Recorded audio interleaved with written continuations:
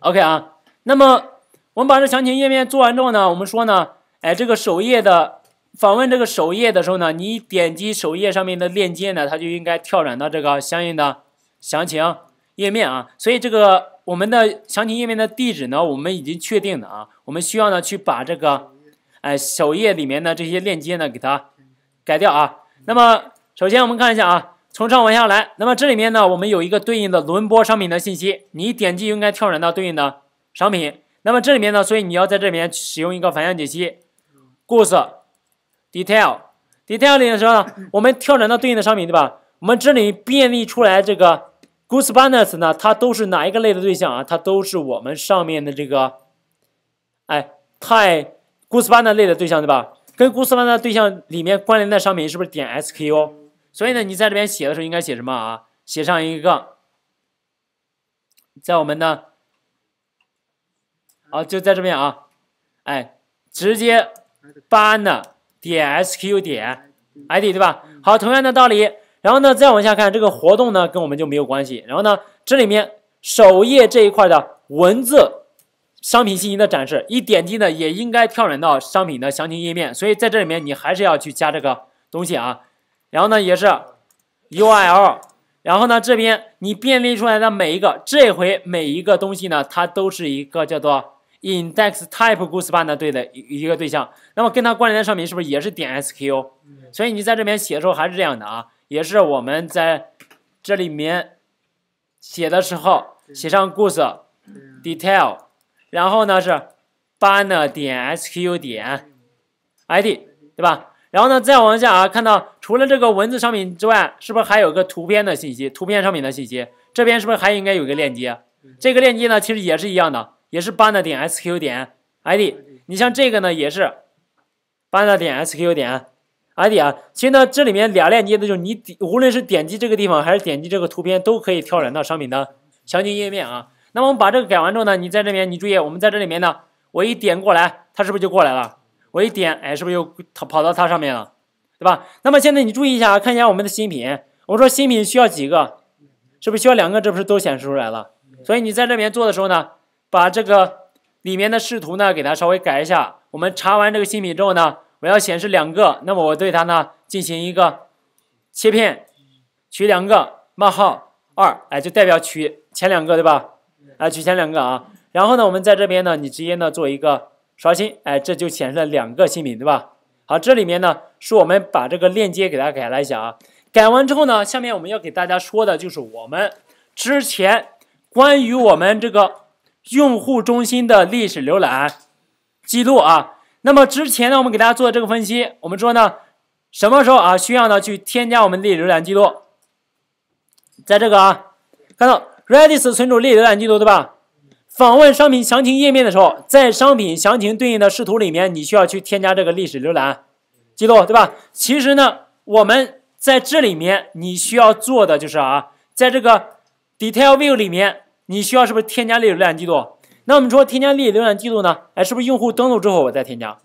所以呢，这里面用户登录之后，你不光要获取购物车里面商品的数目，你还要在这里面呢去添加，对吧？添加用户的。历史浏览记录啊，历史浏览记录。好，那么这个历史浏览记录这一部分的话，我们在这边要给大家看一下啊。我们之前给大家分析这个历史浏览记录的时候，我们说添加历史浏览记录的时候，对吧？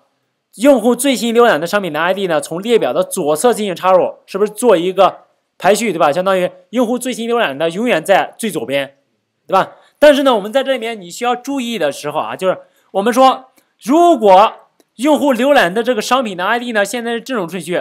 假如说他现在浏览过这些记录之后，哎，他又重新的去浏览的这个商品二，那我们怎么做？哎，你是不是先把二删掉，对吧？删完之后呢，再把它放到我们这边的左边，再把它插到最左边，对吧？哎，所以呢，在这边多一步啊，你在这边，哎，你访问的时候呢，我要先看一下列表里面是不是有没有这个东西，有的话，我先把它移除，移除之后呢，再插入到这个列表的。最左侧啊，那么在我们这里面呢，关于这个移除元素，我们要给大家看一下我们这个 Redis 的命令啊。那么这个 Redis 命令，我们看一下啊，在这里面 Redis 的链接啊，这个 ready 命令对吧？移除 list 里面呢有一个叫做 l remove 啊，l remove 我讲的一个命令，l remove 呢是你传入一个 k，然后呢你要移除的元素是谁？通过 value 呢传过来。这 count 呢它的一个作用就是，如果你的 count 等于零的话，我要移除列表中所有与 value 相等的值，对吧？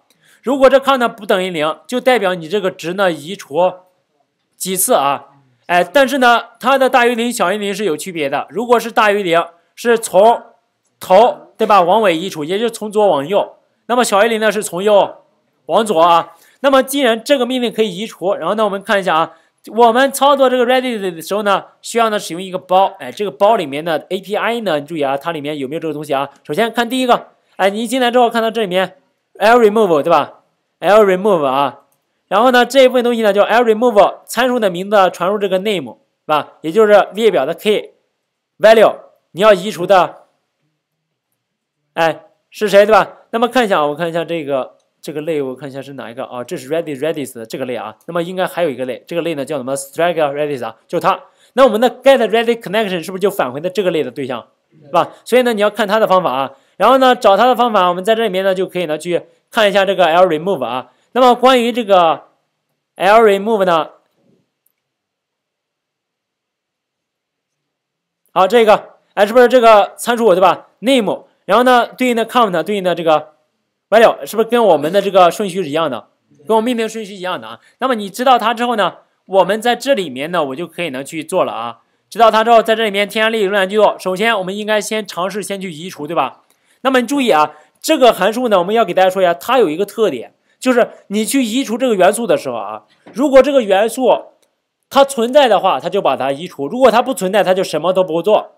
哎，这就这个函数的一个哎作用啊。那么，所以呢，既然它有这种特点，我们就没有必要判断这个元素在列表里面存不存在，我就直接是不是就移除，对吧？哎，那么在这里面呢，其实呢，移除之前先拿到一个链接，就是 get Redis connection 写上一个 default，这里面呢有一个叫做 connection，是吧？然后呢，移除，哎，就是 connection，哎，在我们这边 connection 点 l remove。然后呢，我要移除，我要有一个对应的 k，对吧？历史浏览记录它的 k，history k，那么对应到我们这边这个用户的历史浏览记录对应的 k 呢，就应该叫做 history 下划线用户 id，对吧？所以在这边啊，history，然后下划线百分号 d，然后呢写上一个百分号 user 点 id，好，移除传入 k。好，我要移除几个啊？我要移除几个？是不是列表里面只要有都移除，对吧？本身我们是只保留一个的啊，所以呢，零代表移除所有。然后我要移除的谁呢？我要移除的是这个，哎，它，对吧？哎，故事 ID 啊，所以我在这里面我要写上一个故事 ID。好，移除之后啊，我们在这里面呢，移除，那么 列表中的哎故事。id，然后移除之后呢，我们说在这里面紧接着把 goods id 插入到列表的左侧，对吧？哎，左侧啊，左侧插入。那么这个的话，关于左侧插入的话，在我们这边也有一个对应的命令。那么这个命令呢，它就叫做 l push 啊，l push 看到没有？l push 啊。那么 l push 呢，就是给你从左侧插入啊，左侧插入。然后呢，这边呢，它也应该有一个对应的。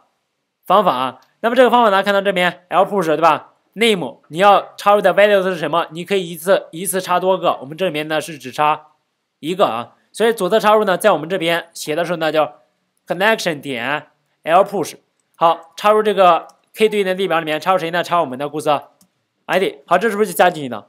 加进去之后呢，你比如说啊，我们用户中心呢，我们说我们只需要显示五条，但是呢，我不想让它保存太多，对吧？我呢就可以呢，哎。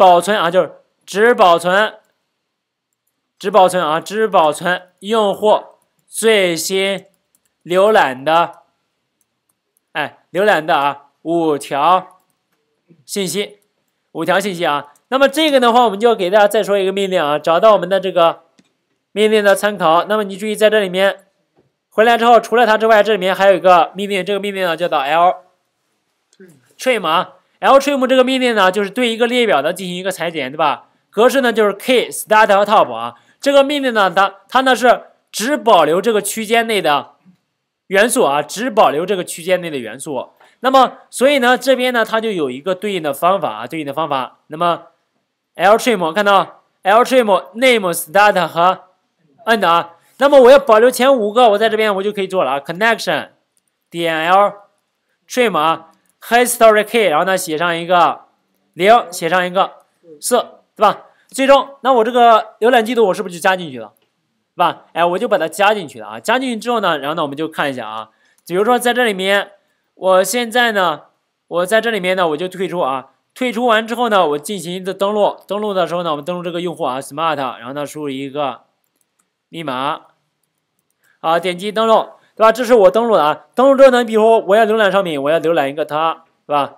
然后浏览完它之后呢，这里面有个新品，我再浏览一个它。好，浏览完之后啊，然后呢，我去我的购物车，点击我的购物车，那么哎，点击我的用户中心啊，点击用户中心，哎，看到是不是这俩？是不是你先浏览它，再浏览它？对吧？那么我重新浏览一下它啊，我重新再浏览一下它。那这个没写是吧？没写，改掉啊。然后找到我们的 user center info，在这里面，这里面呢应该有一个链接，这个链接呢就对应着啊我们的 url url，然后呢里面写上 goods detail，然后呢，哎，你便利出来的每一个商品，它有个 id 叫做 goods 点 id。好，下面的这些呢也是一样的啊，这个也是一样的。那我们在这里面呢。